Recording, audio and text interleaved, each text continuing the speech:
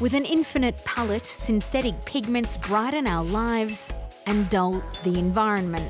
But today, efforts are underway to make our colours renewable.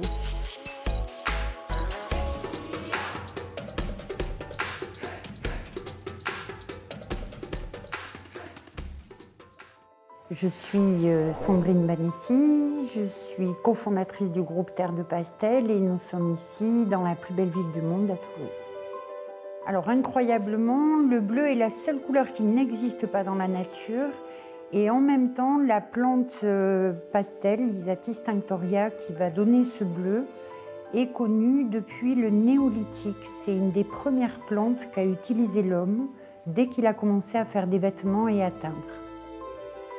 C'est une plante toute simple qui pousse comme une grosse salade, qui est très anodine. Euh, si on frotte ses feuilles, on n'a que du vert, mais en fait, en même temps, c'est une plante rare et très précieuse. Euh, parce que c'est une des rares plantes au monde qui donne du bleu. Dans la cuve, c'est une véritable alchimie et, un passage de couleur qui est euh, unique dans le monde de la teinture. On va avoir une cuve qui est verte, un tissu qui va ressortir plutôt dans les jeunes et qui va petit à petit s'oxyder au contact de l'air. On va devoir faire plusieurs passages et c'est après tous ces traitements et une fois que le tissu sera lavé et sec qu'on aura le résultat final. C'est une plante qui me permet aussi bien de colorer du voile de cachemire que de peindre des volets. Je peux aussi faire des produits beaux-arts je, ne sais pas ce que je ne peux pas colorer au pastel en fait, à part les fibres synthétiques euh, de type polyamide. Pour le moment, on a 14 hectares de champs de pastel aux portes de Toulouse et juste à côté de notre entreprise. C'est une plante qui pousse de la Sibérie au sud de l'Espagne, de l'Écosse à la Turquie.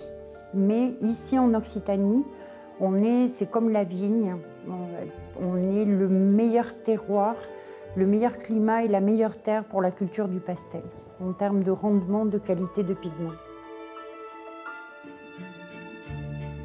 C'est une ressource agricole, donc je peux présenter à mon champ de pastel tous mes business plans, tous mes rétro-plannings. il est parfaitement insensible à ça. C'est son seul défaut. Nous travaillons en partenariat avec le laboratoire Crit Agro Ressources de Toulouse on fait un programme sur trois ans de recherche globale sur la feuille de pastel. Ce qui nous importe, c'est de savoir comment, à quel moment, avec quels moyens on peut produire au mieux un pastel qui titre énormément en indigo, dans molécules de bleu, de façon à avoir euh, un résultat d'extrêmement bonne qualité. On a créé le groupe Terre de Pastel parce qu'on a été passionné par cette plante qui avait disparu, qui est vraiment un trésor du patrimoine occitan et du patrimoine français, et même du patrimoine européen, et qui en même temps se révèle être une source d'innovation essentielle pour l'économie textile de demain.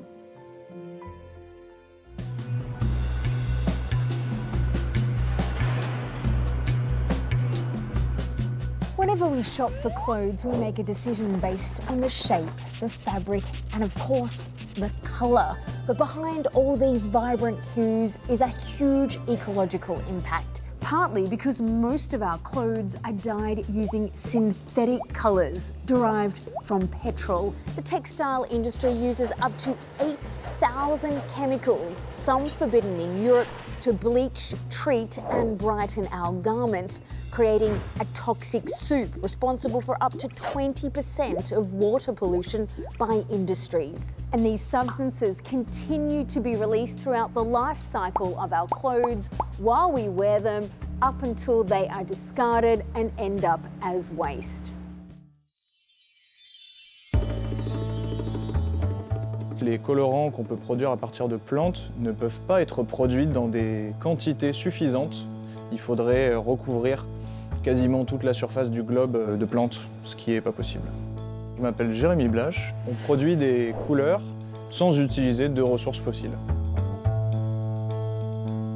On peut cultiver de la couleur grâce à des micro-organismes. On a commencé par le bleu. C'est une belle couleur pour commencer euh, cette aventure.